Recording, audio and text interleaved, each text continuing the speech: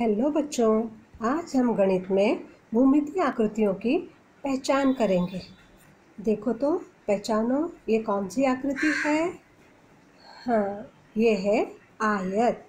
आयत में आयत की चार भुजाएँ होती हैं। एक, दो, तीन, चार। ये चार भुजाएँ होती हैं और इसकी आमने सामने की भुजाएँ एक जैसी होती हैं।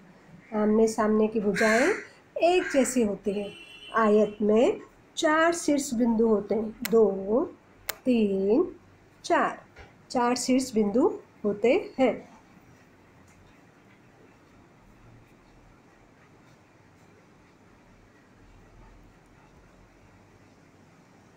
आयत के उदाहरण हैं।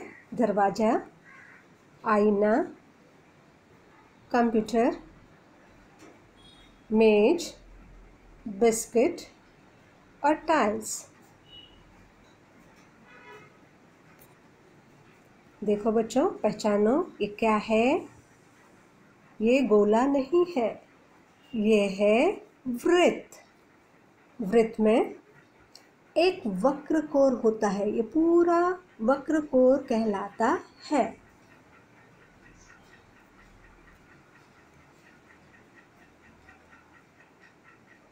इसमें एक भी रेखा नहीं होती।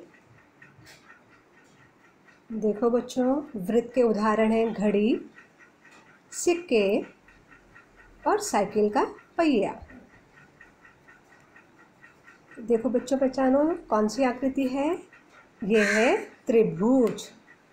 त्रिभुज में तीन भुजाएँ होती हैं। एक, दो, तीन भुजाएँ होती हैं इसकी और इसके तीन शीर्ष बिंदु होते हैं। एक, दो, तीन।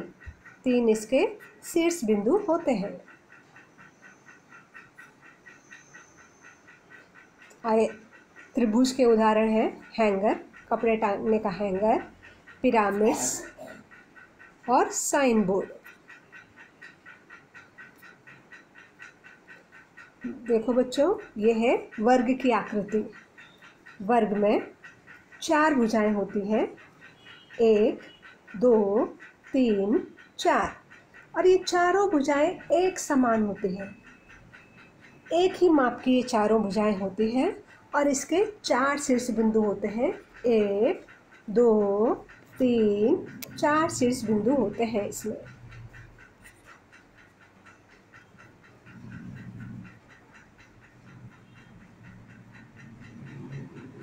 अब हम वर्ग के उदाहरण देखेंगे चेस बोर्ड और कैरम बोर्ड इसके उदाहरण हैं। Thank you